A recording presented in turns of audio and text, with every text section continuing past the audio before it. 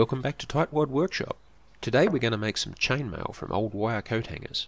We'll start by making a mandrel, which we'll use to coil the wire into a spring. I'll drill an 8mm hole into this piece of hardwood. Now I'll screw this 9.5mm bolt into the hole.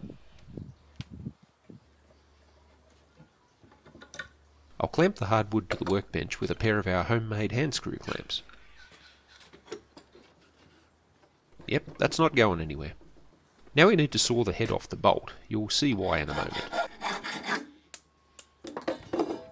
Use a file to take off any sharp edges.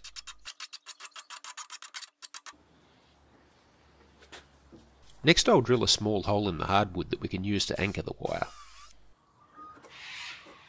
Start by making a bend in the end of the wire, then put the bent end in the anchor hole. Now coil the wire around the mandrel.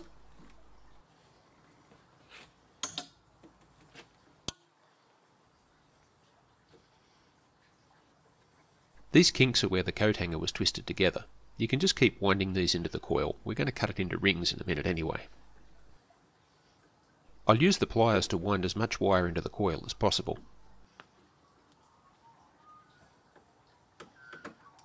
Now we can remove the coil from the mandrel and cut it into rings.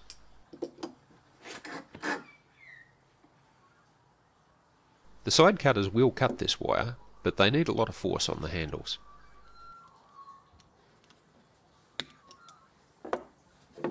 These Knipex compact bolt cutters make the work much easier. I'm not sponsored by Knipex, I just like this tool. Although if Knipex really want to give me sponsorship money, I'll probably say all kinds of nice things about their tools. A simple frame like this makes it much easier to start a rectangular piece of chainmail.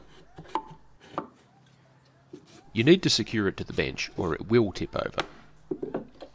I'm using a bamboo skewer for the hanger rod. I'll start by threading 16 closed rings onto the rod.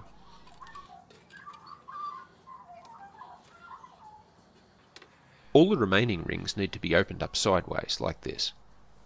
Start by making sure all the rings are overlapping in the same direction, then connect the first pair together with a single ring. Now use two pairs of pliers to close the ring. Closing the rings is easier if you have two pairs of short-nosed pliers like these. Now slide the next ring across and join it to its neighbour in the same way.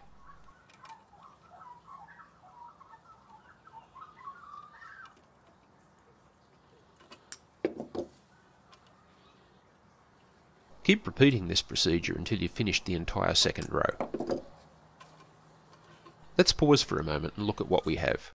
We have two rows of rings. The first row points to the right and the second row points to the left. The first row has 16 rings and the second row has 15. If we keep working in this pattern, our next row will have 14 rings, then 13, 12, 11 and so on, eventually making a triangle. If you want to make a rectangle instead, you'll need to add an extra ring at the end of each row to maintain the 16 ring width. For the second row, the extra ring needs to be on the left side. For the third row, the extra ring will go on the right side. For now, I'll just start the third row without adding the extra rings. Notice that we only connect the new ring to two rings in the row above it. When we finish the row, all of the non-edge rings in the second row are now connected to four other rings, two in the top row and two in the bottom. Those 12 coat hangers gave us enough rings to make 19 rows of chainmail. Let's take it off the frame for a closer look. It's very flexible and quite heavy for its size. It'd certainly give more protection on the battlefield than naked skin or a cotton shirt, and it'd be very effective against slashing cuts from a knife or a sword. However, these butted links wouldn't work very well against a sharp pointed weapon, like a spear. A strong thrust from this tapered point would open the links up like this, and then you'd have a bad day. A serious medieval knight or man-at-arms wouldn't consider this to be acceptable quality in his chainmail. He'd insist on having the ends of all his chainmail links riveted together, like this. So how do you make riveted links, Mr. Tightwad? Well, I'm glad you asked that question. You start with a coiled wire, the same as for butted links. The first difference is that the coils need to have overlapping ends. Obviously our cutter won't be able to skip the first wire to cut just the second one. One way around this problem is to grind a notch into the cutter's jaws so that it can skip over the first wire. Another way is to simply open up the coil with a screwdriver. You can also use the cutter's jaws to open up the coil. Once you have enough clearance, you can cut the link as usual. We need the links opened up wide like this for the next step anyway. Now we can go into the workshop and light the fire. It's possible to forge these links cold, but heating them first reduces your chances of cracking the metal.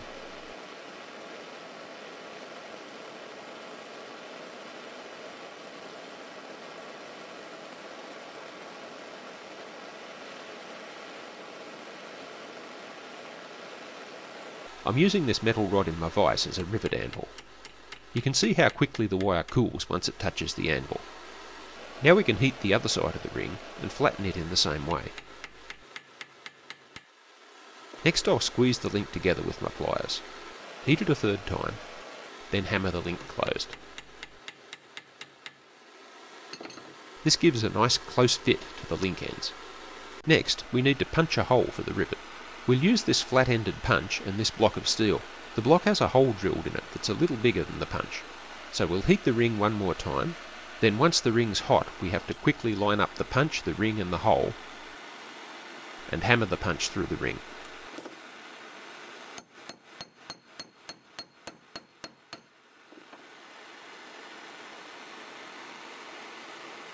That punches a nice clean hole through the ring's ends. The tapered punch is fairly easy to remove. So now our ring's ready for riveting.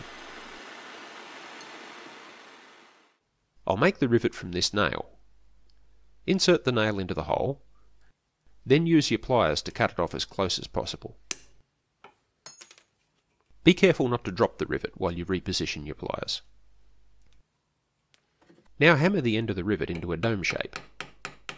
This operation also makes the rivet expand to fill the inside of the hole.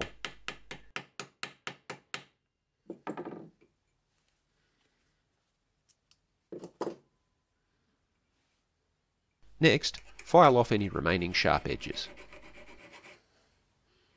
Now you can repeat that process another 30,000 times and you'll have enough rings to make a mail hauberk.